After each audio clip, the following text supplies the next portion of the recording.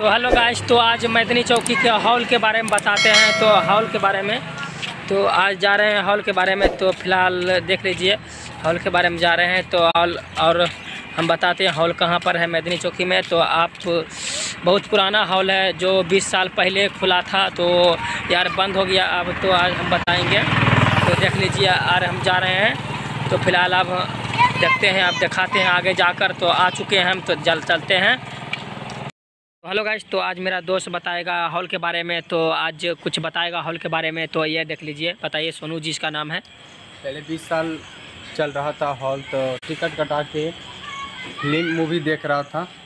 इसी हॉल में टिकट कटा के मूवी देख रहा था बचपन में, और फ़िलहाल अभी बंद है। दस साल से हॉल बंद है, इसी में देखता था इस गेट से, इस गेट से जाता था, और मूवी देखता था